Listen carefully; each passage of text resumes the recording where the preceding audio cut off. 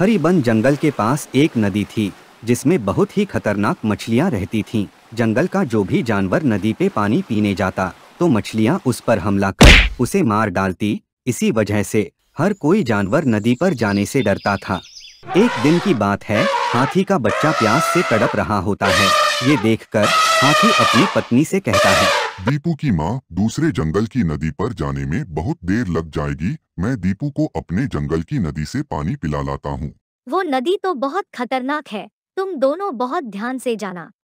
फिर हाथी दीपू के साथ नदी पर आ जाता है। दीपू डरते डरते नदी में पानी पीने लगा।